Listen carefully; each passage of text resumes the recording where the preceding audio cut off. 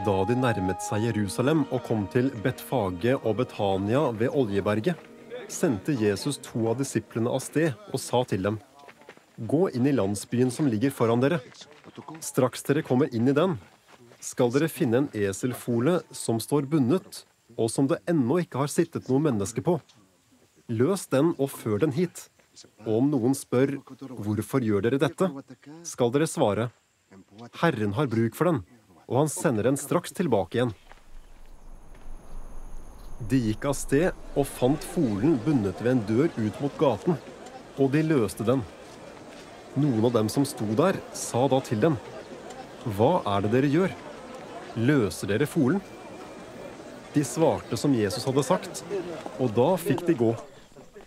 Så førte de folen til Jesus og la kappene sine på den, og han satte seg opp. Mange bredte ut kappene sine på veien, andre dekket den med grønne kvister som de hadde skåret på markene omkring. Både de som gikk foran og de som fulgte etter, ropte Hosianna, velsignet er han som kommer i Herrens navn. Velsignet er vår far Davids rike som kommer. Hosianna i det høyeste.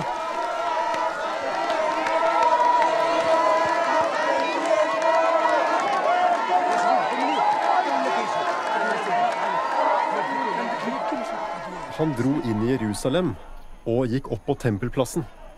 Etter å ha sett seg omkring overalt, gikk han ut til Betania igjen sammen med de tolv, for det var alt blitt sent på dagen.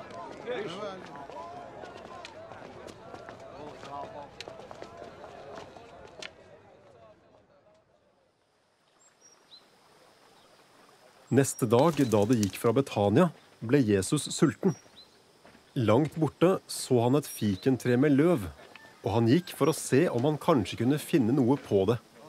Men da han kom bort til det, fant han ikke annet enn blad, for det var ikke tiden for fikener. Da sa han til treet, Aldri mer skal noen spise frukt av deg. Og disiplene hans hørte det.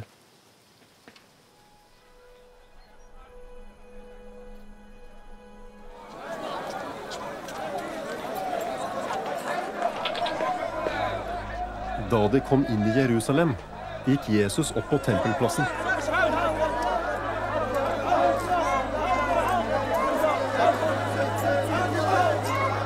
Og ga seg til å jage ut dem som solgte og kjøpte der.